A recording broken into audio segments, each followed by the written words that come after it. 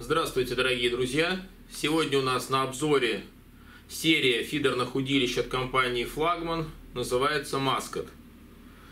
По многочисленным просьбам я решил ее снять, потому что, как я обещаю, что пишите в комментариях, что нужно, я вам сделаю этот обзор и сниму то, что вам нужно, и расскажу о том, что вам нужно. Ну вот, в общем-то, одна из не первых ласточек сегодня у нас в видео, да, в нашем обзоре, именно и Федора Маска. Значит, э, серия насчитывает 6 удилищ. Сразу скажу, что посадочный диаметр вершинок для фидеров до 360 по длине включительно 2,2 мм, а выше уже 3,0 мм.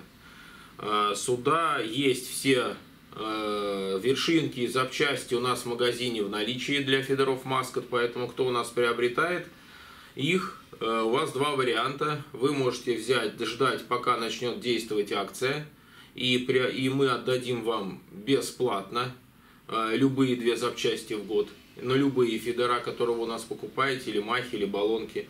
Либо второй вариант, если вам нужно срочно, и акции на данный момент еще не действуют, вы можете э, ну, со, с хорошей, там, с, на хороших условиях да, купить эту запчасть, не дожидаясь акции. Поэтому здесь вот вам решать, Многие у нас большинство ждут акции, они в принципе часты, одна сменяет другую, поэтому многие не так долго, скажем так, в ожидании на конкретно вот на маскоты, на те же браунинги и так далее, на фидера, волжанки получают. Значит, сюда подходят а, вершинки от того же Земекса, сюда подходят вершинки от волжанки – ну, скажем так, если вдруг кому приспичило где-то в другом городе, он не хочет э, платить за пересыл и тому подобное, да, за одну-две вершинки хочет купить. Поэтому вы можете их заказать. Но опять же, повторюсь, у нас в магазине все оригинальные вершинки, все запчасти к серии Маскот, все есть в наличии, поэтому заказывайте, никаких проблем с этим на данный момент нет, и я надеюсь, не будет. Ну, как я сказал, приступим к федерам. Наверное, в описании все могут прочитать и узнать о том, что там какие-то хитрые технологии плетения карбона перпендикулярно, параллельно, что у вас не будет расщеплений и всему подобное. Понятно, что такие вещи часто это все-таки маркетинговые ходы, и как бы не всегда нужно этому вот так верить, то есть можно описать простейшую технологию, которая применяется, в общем-то, уже давным-давно и чуть ли не у всех, очень хитрыми, умными, заувалированными словами, и будет это выглядеть красиво, да, но на самом деле технологии старые и простые, да, здесь, скажем так, Э, такой вот мой тезис, да, такая моя справочка, она относится частично, потому что действительно вот в этих фидерах э, основная часть бланка это стандартная, в общем-то, запекание угля, стандартный припрек, на обмотка надорной, кладутся в печь и получаем такие бланки. Но сверху на каждый бланк действительно нанесена дополнительная обмоточка, из э, припрега, ну, можно сказать так вот, в простонародье, если назвать такой армированной об, обмоткой, которая идет действительно перпендикулярно, ну не перпендикулярно, там просто само плетение внутри бланка, оно тоже не параллельно, поэтому там идет просто обмотка такая, да, на связующих смолах, э, решеточка такая. То здесь вот, в принципе, такая армированная решетка, тонкая, многогранная, она присутствует, то есть на всем бланке, и она чувствуется на ощупь. То есть если его вот так вот провести рукой по бланку, она чувствуется, ну, чувство, вы почувствуете, что э, будут такие пупырышки, да, он не, не гладкий абсолютно. Э, действительно, этот момент, он помогает для силовых вываживаний того же карпа, и так далее. Действительно, также этот же момент он помогает, защищает лишний раз фидер от расслоения при, вот, допустим, там, когда мы сгибаем фидер, да, или там коряшку или карпа вверх поднимаем. Но здесь еще такой момент, что, э, скажем, так, э, вот такое расслоение карбона, да, ну, при прега как угодно, э, оно возможно в бюджетных фидерах, потому что в дорогом угле, фидера из дорогого угля, допустим, если мы берем фирму флагман, то есть как Гретхэм или Тригарон или Inspiration, Reflection, да, они у вас сломаются просто как э, сухая э, там э, щепка. В бюджетных фидерах как раз э, момент расслоения, он как раз и может быть когда применен недорогой бюджетный уголечек. И вот как раз в этой ситуации вот эта внешняя корка, она защищает. А, здесь уголь 30 тонн стоит. Это, скажем так, бюджетный вариант угля. Но дороже здесь и не надо, в общем-то, ставить, потому что вся серия рассчитана на крупную рыбу, э, на заброс силовой, на мощное вываживание – и так далее. Под это дело затачивались и кольца, кольца Pacific Bay с такими вот вставками усиленными, да, которые не пропилятся ни плетней, ничем. А, кольца качественные, более того, они даже имеют вот эта вставка, да, она не подвержена ударом, то есть даже если чуть-чуть вы как-то там стукнули это колечко, оно тоже выстоит, оно никакая вставка отсюда не выпадет. Максимум, что сможет быть, это согнется колечко. Но все равно от этого погнутость, сами понимаете, леска пилиться, как правило, не будет. Можно будет аккуратненько его там как-то выпрямить потом. Ну или заменить. А, так, что дальше вам сказать еще? А, по поводу держака. Простейший держатель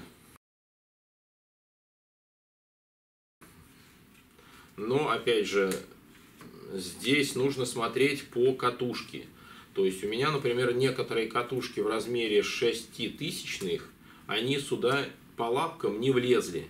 И мне пришлось немножко напильничком, наждаком подпиливать лапку.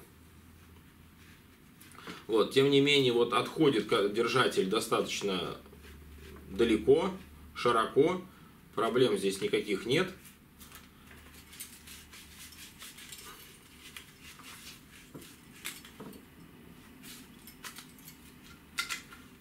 Вот видите, с, какой, с каким трудом я здесь все это дело вытащил. Значит, вот здесь отличный вход в бланков, в держак. То есть никаких дырок, все запаяно, заделано, скажем так, для вот этих цены, да, ну, приятный очень фидерочек и по качеству, да, и, и по, по исполнению тоже. Здесь у нас э, обои, обои тоже такие небольшие, из пробки, да, ну, качественные. Ничего такого плохого сказать здесь не могу. То есть я знаю э, много людей, у кого на руках маскоты. Знаю, что их тестировали и в хвост, и в гриву, как что называется, да, и здесь все хорошо. По поводу Эва то же самое.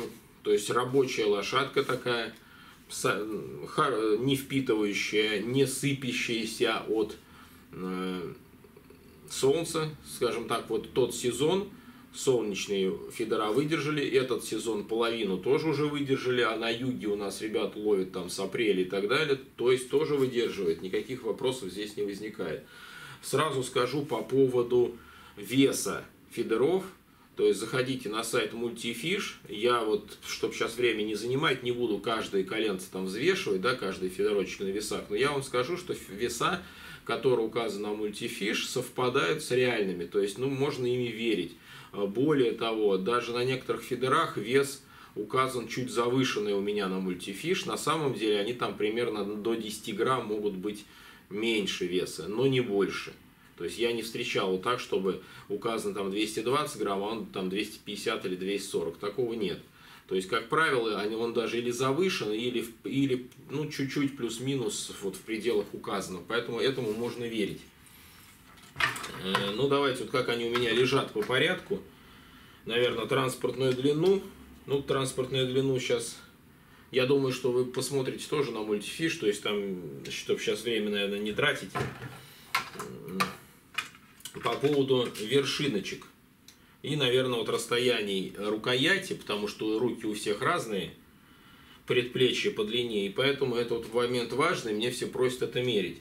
Значит, давайте с вершинок. Значит, у меня э, первым ближним ко мне лежащим 390-130 маскот.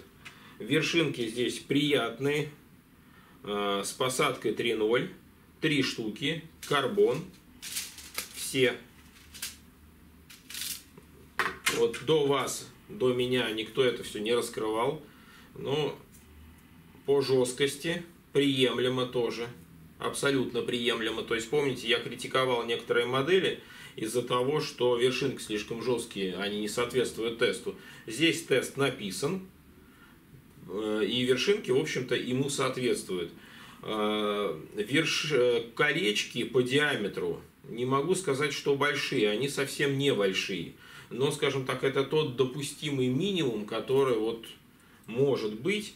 И как бы я вот всегда говорю о шок-литере, как я ловлю, да, вот у меня, я на нем ловил 0,13 плетня, да, и 0,26 монка, вот узел пролетал спокойно. То есть вот исходя из этого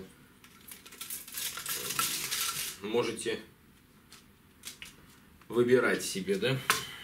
Так, э, дальше. Расстояние от кольца до катушка держателя, до его средней части 65. Э, от нижней части держателя то есть сама рукоять, получается 49. И давайте тогда диаметр колечка измерим. А то уже прям слышу, как люди многие начнут говорить, что почему не измеряем диаметр кольца. 28 миллиметров диаметр кольца. Значит, следующий фидерочек, это у нас маска 420-150.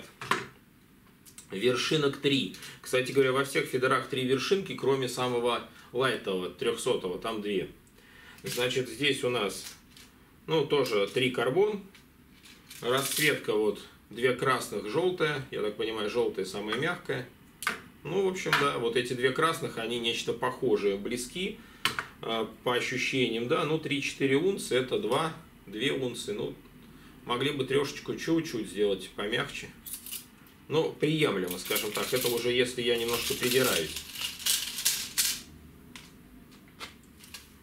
Так, давайте померяем, кто спросит длину вершинки. Вот длина вершинок 56. Значит, от кольца у этого фидерочка до центра катушка держателя от нижнего кольца 80. А, рукоять 49. А, вот еще что мы не померили. Диаметр бланка, наверное, да, кому интересно. Вот давайте у предыдущего 390-130 диаметр бланка 16. У вот этого 420 до 150 диаметр бланка у нас 18. Ну, сами понимаете, мощные палки, вот, в общем-то, кому это нужно – мощные, с хворостинками, тростинками и слимбланками здесь не пахнет, сами понимаете, это совсем цель другая в этом. Значит, следующее. 3,990. Вот здесь уже поменьше. Диаметр у нас получается он 14. Также три вершинки в комплекте, все карбон, единичка, двушка, трешка. И вот здесь вот меряем еще раз вершиночки. Они у нас в этой модельке длиннее. Они у нас 66 миллиметров аж. Фу, 66 сантиметров. Диаметр кольца у предыдущего был тоже 28, а здесь уже поменьше. Так, здесь у нас 22 миллиметра.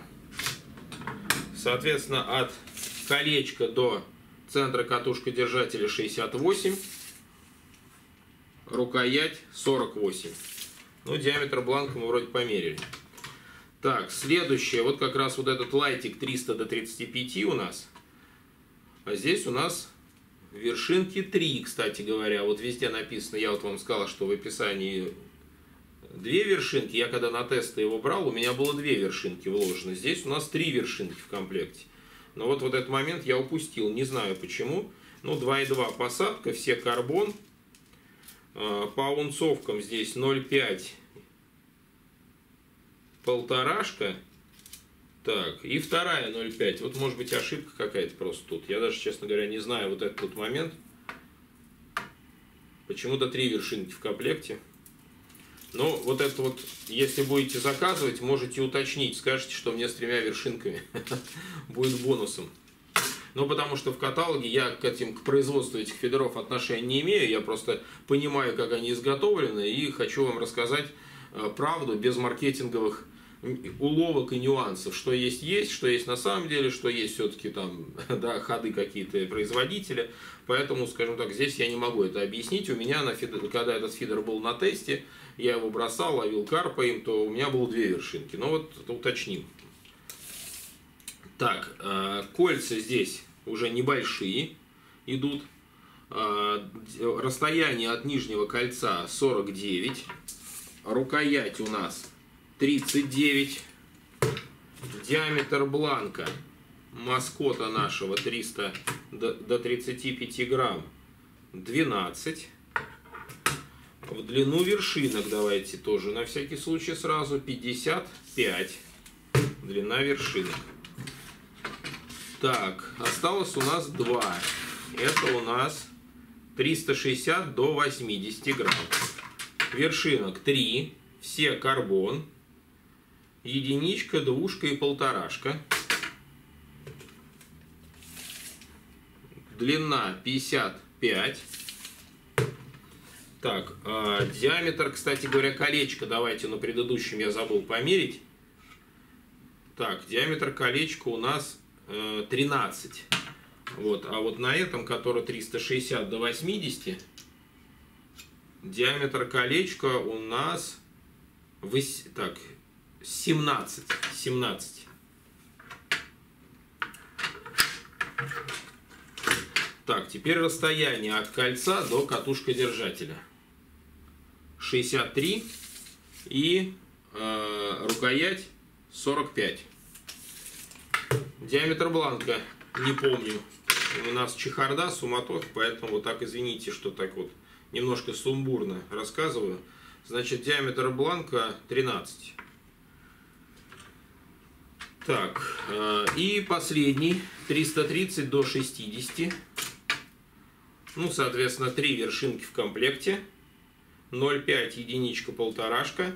Все у нас карбон. Меряем. 54. Длина вершинки. Так, от колечка. Ну вот с учетом захода, я сейчас померяю вам. С учетом захода, я просто вижу, да у нас получается 63, рукоять 45 и диаметр бланка диаметр бланка 13 миллиметров. Так, в общем-то, вроде все сказал. Вот по таким техническим моментам. Если что, пишите в Телеграм, я отвечаю там всегда. Еще раз напоминаю, что при заказе у нас в магазине действует акция на все удилища, фидера практически всех фирм-производителей. Там есть исключения небольшие, но можете у менеджеров уточнить, на которые вы имеете право получить две запчасти в год бесплатно, но два условия. Первое условие – это покупка этого фидера или маха или баллонки у матча спиннинга у нас в магазине Multifish – даже если вы сломали его по собственной вине, там дверью машины зажали, еще что-то, вы тоже две запчасти в год э, в период действия акции, проведения акции на эту фирму вы заказываете, мы вам отправляем и отдаем бесплатно. Люди уже многие получили, отзывов уже много, поэтому, скажем так, такие акции уже не первая и, надеюсь, не последняя. И второе условие – это обязательная подписка на социальные сети. Форумы значения не имеют никакие абсолютно. То есть здесь только социальные сети, эти Telegram канал, э, ВКонтакте, Facebook, Instagram, YouTube, Рутюб. Вот, в общем-то, вот эти соцсети обязательно должны быть подписаны на страничке нашего магазина в социальных сетях. Извините, если вам откажут по той причине, что я не пользуюсь соцсетями, мы скажем, да, извините, тогда мы не сможем вам бесплатно отдать запчасти.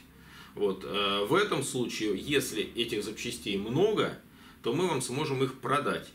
Если их мало, мы их продать вам не сможем, менеджер откажет в продаже, он скажет, что их мало, и поэтому мы их специально держим для купивших у нас. Мы просто знаем, с какие фидера у нас и сколько по объему покупали, и примерно исходя из этого мы оставляем себе наличие запчастей.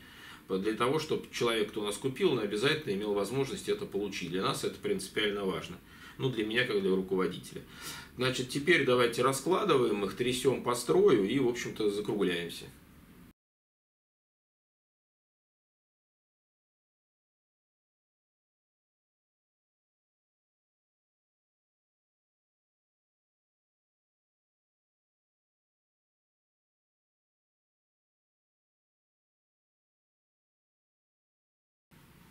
Ну вот, господа, мы раз, разложили это все хозяйство наше. Значит, первым у нас 300 до 35 грамм. Вот такой вот лайтик. Вот такой вот строй. Да, он прогрессивный, он не параболический. То есть это прогрессив, приятный. Исключительно, я бы сказал, такой лайтик для ловли карпа, для коммерческих водоемов с хорошим запасом прочности, с приятными информативными вершинками. Ну, колечки тоже вопросов не вызывает. Трехтысячная, даже, я думаю, четырехтысячная катушка сюда совершенно спокойно встает. В руках, где, скажем так, чувствуется у него мощь, ну и надежность, в общем-то. Конечно, от слим бланки, какой-то там хворостинки, деликатности, продолжение руки вашей – Здесь говорить особо сильно не приходится, но это вот э, лайтик, да, фидерочек для тех, кто вот э, протащить карася через траву, там в сложных условиях половить и так далее. То есть, ну, скажем так, если мы берем серии там те же Гретхам, Тригорон или еще что-то, да, там рефлекшены какие-нибудь, то, конечно, там будут они намного легче, они будут невесомые, пики, да, лайтики и пикерочки. Поэтому здесь все-таки маскот, серия силовая. Ну, в общем-то, кому-то это нужно. Давайте нагрузим, сейчас посмотрим строй. На фоне белой двери нашей как раз.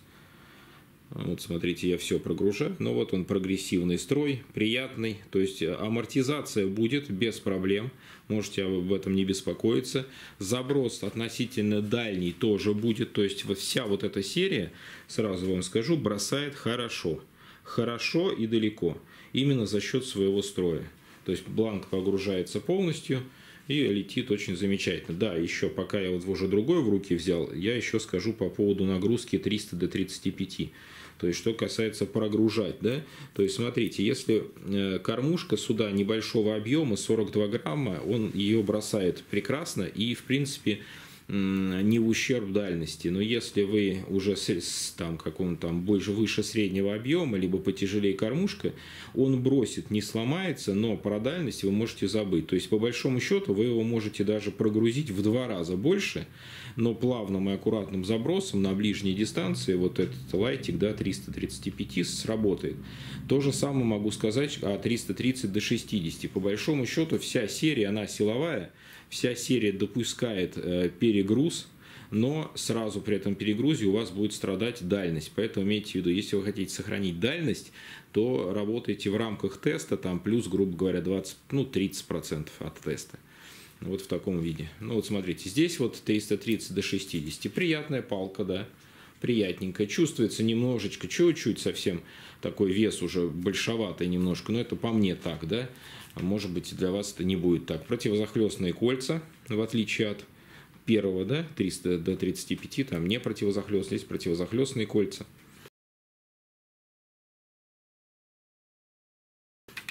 Видите, да, я стараюсь вот на двери вам показывать, на камеру сейчас. Вот такие колечки. Ступенек нету, ровненькие. Катушка сюда точность так же, 4000 шикарно встает и работает. Давайте нагрузим. Ну вот, смотрите, как она будет бороться, ваша палочка с карпом мощным. Поэтому карп полтора-три совершенно спокойно, силовое вываживание, отличная работа бланка. То есть на карпа вот эти удочки, вот, да, ну просто шикарные. Берите, не, не сомневайтесь, чтобы не переживать за свою удочку, а именно вот работать с ней, просто же изумительно. 360 до 80. Вот эта палка, это вот тот, э, скажем так, фидерочек, который лично мне уже не очень нравится. Объясню почему. Видите, вот я руку вам сейчас свою покажу на камеру. Вот я еле его трясу. Вот видите, какой просто, но он уже болтает морду, видите, как вот нехорошее слово морду, да, но вот он, вон, смотрите, да. я вот ничего не делаю практически, она вот, смотрите, как гуляет. То есть э, у меня было два отстрела именно на нем. И я, естественно, понял почему. Потому что вот эта морда, когда мы ее бросаем, она начинает ее колбасить, как говорится, да, и пока леска летит, она сама на себя забрасывает. Да, тюльпанчик там обычный, э, кольца тоже обычные, поэтому вот эти вот отстрелы у меня, да, именно из этого происходили. Поэтому будьте осторожны, либо берите пожестче вершинку. Сразу скажу, что мы поставили на все федера средние вершинки из комплекта. Вот так они и стоят. Также противозахлестные кольца. Видите, противозахлестные кольца.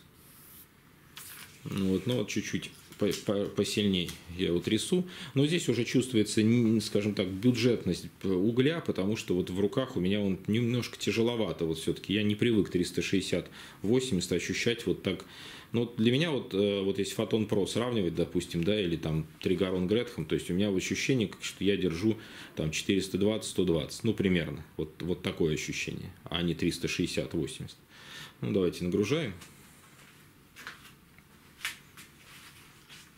Вот смотрите, на бланк я вам показываю. Во как он работает. Ну, то есть в плане гасить рывки рыбы, в плане удобства вываживания карпа, ну, просто ж изумительно. Вот вообще без вопросов эта серия. Очень мне нравятся бланки, именно как вот работа самого бланка. Вот это настоящий прогрессив. Вот вспомните, кто там пишет прогрессив. Я вот когда в других своих видео да, показываю, смотрю средний быстрый строй явно, хотя написано у производителя прогрессив. Вот, вот если те помните мои видео, да, сравните со строем вот этим. Вот это вот называется прогрессив. Вот то, что мы сейчас нагружаем и то, что сейчас видим. Значит, 390-90 палка. Но вот у меня в руках она как будто 420-180. Это вот по тригоронам, по Гретхамам, по фотонам Pro. То есть она уже клюет носом вперед. Баланс мне у нее не нравится. Но, опять же, это мне не нравится, потому что я, в принципе, даже карпа ловлю на, ну, условно, более высокие серии э, фидерочков. Вот, поэтому я, наверное, никаких поломок они у меня не вызывают. В общем-то, даже 3 и вот 8 300 килограмм недавно карпа поймал на Фотон Pro 390-90. Ничего там не сломалось. И, в общем-то, и на Гретхам в том году вываживал точность так же. Поэтому, ну, смотрите сами, если хотите прям вот большой уверенности, то да, вот эти вот палочки уже ваши. По поводу течения, вот э, в принципе держать течение оно будет тоже в рамках теста. Имейте в виду, вот за счет строя, ну, вот, вот в рамках теста она течение держать будет, если вы хотите его на течение использовать. Вот видите, его уже не колбасит. Вот насчет предыдущего, да, морда я говорил колбасит. Смотрите, вот я специально руку в свою вам кисть показываю, вот сейчас на камеру. Смотрите, видите, как она встает жестко. Смотрите, а я трясу намного сильнее, видите, чем тот предыдущий. Да, все. Вот здесь вот у меня и не было никогда захлестов, и вопросов никаких нет. То есть вот это вот минус этого фидера только в одном. Он тяжел, и баланс не очень хороший. Все остальное, ну, все, все хорошо. Если вы раз в полчаса забрасываете, фидер лежит на стойках, ну или раз в 15 минут даже, допустим, да, то никаких проблем, можно того брать, его брать, да. Нагружаем, Ну, строй идентичный, видите? Прогрессивный идентичный строй. Вот я двумя руками сейчас имитирую выволакивание карпа на берег в 3 килограмма. Примерно так. Вот, значит, следующая моделька. Предпоследняя. 390-130. Э, ну, вот это уже его называют в простонародье дроном. То есть это мощный комель. Просто вот как череночек такой. Да, но какой его плюс? Это единственная модель, которая хорошо держит течение. Поэтому, если вы хотите, допустим, ну, с усача на сама, на там крупную сазана, на ахтубу, на, да, э, куда-то вот такой фидер брать, да, где течка идет, течение, то вот его можно взять смело, он будет держать течение, но тоже в рамках теста. Вот, морду его не колбасит, видите, все хорошо, все жестко, да, это мощная силовая палка, которая на сазана там 8 килограмм без проблем абсолютно.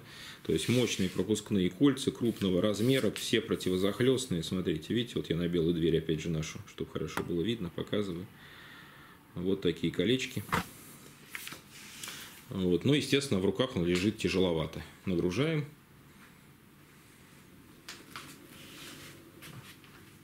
Видите, как он прогибается? Вот здесь уже все, он уже монолитом встает, вот от середины и ближе к комлю. Видите, то есть это уже все. Работает уже верхней части. Вот этот строй прогрессивным, вот как таковым, ну, в принципе, с натяжкой уже, наверное, можно назвать. Ну, относительно, наверное, да, в принципе, прогрессивный. Вот здесь то же самое. Значит, у нас 420-150 в руках. Также течение он будет держать, но до, 100, до кормушки 100 грамм. Вот 100 грамм или 120 максимум вы ставите кормушечку, да, чуть больше, и начинает загибать второе колено. Поэтому вот имейте в виду, кто на течение и на, даль, на дальняк, как говорят, берут его, да, вот 100 э, грамм, 120 грамм кормушка, дальше начинает загибать второе колено. И вот его видно, кстати говоря, видите, я точно так же, как до 80 вот рису, смотрите, видите, уже совсем немножко другая работа. Видите? Кольца точность также, конечно, мощные, усиленные, тут вопросов нет. Фидер в руках лежит тяжело, баланс вперед. Ну, давайте нагружаем. Ну и работа, как у предыдущего, видите, по бланку. То есть более мягкий верх, более жесткий, практически непрогибаемый дрын в конце. Ну, в общем-то, думаю, понятно. Ну вот, господа, разложили, посмотрели, потрясли. Строй, я думаю, вы все увидели. Действительно силовые мощные палочки.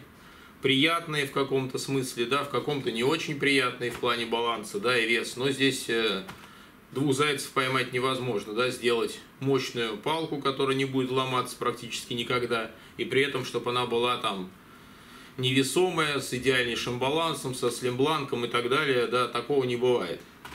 Поэтому закон такой, что чем удочка, это касается и фидеров, и всего остального, чем удочка из более дорогого карбона, угля, углеволокна, как угодно, э, тем она более хрупкая. Вот такой закон. Поэтому для нас оптимально подобрать золотую середину для вот наших конкретных ваших условий, да, где вы будете ловить. Если для вас главное это надежность, и для вас не принципиально лишние там 40-50 грамм веса, для вас это не критично совершенно, и для вас просто нужна уверенность. Да, вот маскот, тогда серия, она для вас, смело берем, в мультифише, естественно. Мы официальный магазин товаров, торгующий товарами флагман. У нас есть сертификат, вы можете посмотреть его. Ну и сейчас два слова о чехле такой же, как и вся серия фидеров, мощный чехол из плотного материала. Разорвать его, наверное, невозможно. Он не впитывает воду, прорезиненный. Соответственно, запахи тоже не впитывает. А, а, э, отдельно каждый кармашек под каждое коленце. А, под тубус с вершинками, карман на завязочках. Здесь у нас тоже завязки. Единственный, наверное, его минус, и то, если придираться, это вот этот цвет бирюзовый, он маркий. Вот у меня фидера новые, и просто от того, что они даже в коробках там лежали, с завода приехали к нам, да, вон у меня уже чуть-чуть там, здесь вот грязненькие такие вещи. Но я думаю, что две рыбалки, у вас все будет то же самое на этих бирюзовых ставках. Но, тем не менее, вот по, по качеству я бы его даже не выбрасывал. Я часто перевожу фидера в тубусах, э, выбрасываю чехлы, потому что бывает, как носовые платки, эти чехлы, они ни о чем. И просто лишнее время терять, что в них туда убирать, который ни о чем не защищает и ничего не делает. То здесь чехольчик действительно приятный, плотный очень. И поэтому, скажем так, э, я бы его даже оставлял и перевозил в нем. Потому что действительно красиво выглядит, так добротно, изящно. Э, сразу еще раз должен вам упомянуться, потому что поступает масса вопросов по поводу получения запасных частей. Сейчас коротко, буквально скажу два слова. Э, акции проводи, проводились и будут проводиться, дай бог, на бесплатное получение запасных частей для наших покупателей ко всем удилищам, купленным в нашем магазине Multifish. Э, Подробности в, на сайте читайте в программе лояльности. Если в двух словах э, вы должны фидер удилище должно быть куплено только в мультифиш, и вы должны быть подписчиками на социальные сети нашего магазина Telegram, ВКонтакте, Facebook, Instagram, YouTube, Рутюб. Форумы значения не имеют. У нас каждый день приходят люди и говорят, дайте мне запчасть, мы уже практически ему отправляем, а он нам не присылает скрины, где он подписан на наши социальные сети, а присылает, что он там на форуме Русфишинг у нас участвует и так далее. Мы ему отказываем в этой ситуации. Поэтому прошу с пониманием, Русфишинг для получения скидок значения никакого не имеет. Только наши странички в социальных сетях, что я перечислил, странички нашего магазина. Всего вам доброго и до новых встреч!